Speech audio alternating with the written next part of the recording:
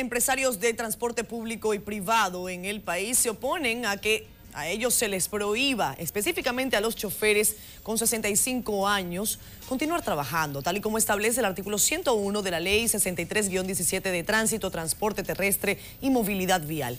Miguel de la Rosa en directo nos tiene más detalles. Adelante, Miguel, buenas noches. Muchísimas gracias, así es. Los dirigentes choferiles aseguraron que el artículo 101 de la ley 63-17 es inconstitucional y que de aplicarse dejaría sin empleo a más de 100 mil padres de familia. Los dirigentes choferiles expresaron que no permitirán que los hombres que le han dedicado toda su vida a ese sector sean despojados del único sustento económico que tienen. Sí, en la vida hemos luchado para que los choferes tengan una mejor vida, una mejor cosa. No es verdad que vamos a permitir que a los 65 años salgan de, de, camino. Tienen intención para desplazar miles de choferes, precisamente que la ley dice que hay que a los 65 años el chofer va para su casa. Ellos dicen precisamente, y nosotros tampoco, menos vamos a cruzar los brazos, a cruzar los brazos para que ese chofer sea mandado a su casa. En el día de hoy se nos empezó a garantizar lo que es la participación del sector laboral de transporte y eso es importante.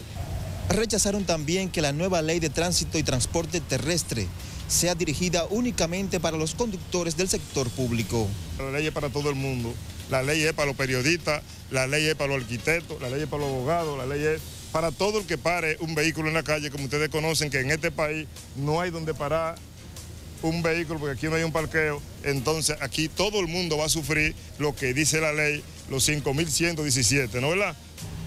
Expresaron además que se reunirán el próximo viernes para definir la propuesta que entregarán al gobierno para que sus miembros no sean perjudicados por la nueva ley de tránsito. Los empresarios del sector transporte ofrecieron estas declaraciones tras participar en una reunión con la directora del Instituto Nacional de Tránsito y Transporte Terrestre, Claudia Francesca de los Santos, en la cual se trató lo referente a la elaboración de los reglamentos de la Ley 63-17. De mi parte es toda la información que tengo por el momento. Ahora retorno contigo al estudio. Muchísimas gracias, Miguel. Que tengas muy buenas noches.